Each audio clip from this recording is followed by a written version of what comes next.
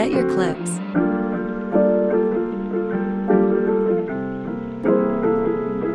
Search for motion tile and add it to your clip.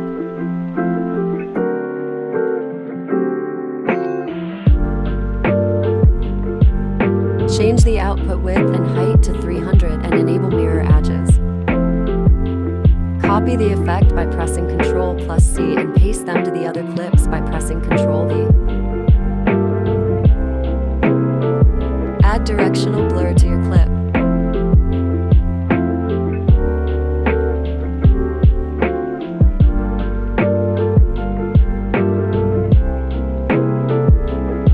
Change the blur length to 150. Click the stopwatch to add a keyframe. Go to the end of the clip and change the value to zero. Select both keyframes and easy ease them.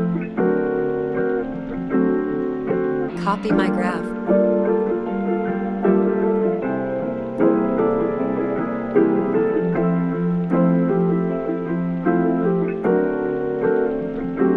Add brightness and contrast to your clip.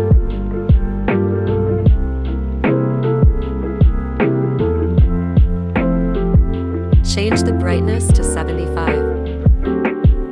Click the stopwatch to add a keyframe.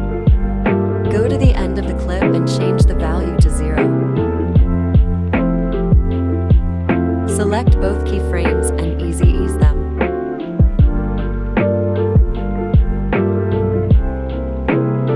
Copy my graph.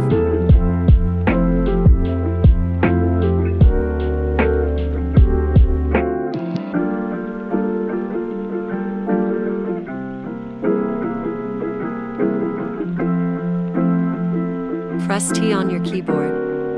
Click the stopwatch at the beginning of the clip. Go to the end of the clip and change the value to zero. Select both keyframes and easy ease them. Copy my graph.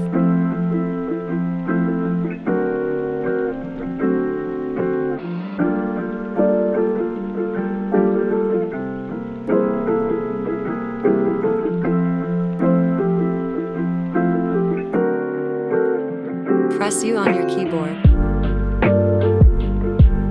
Select all keyframes and copy them by pressing Ctrl C.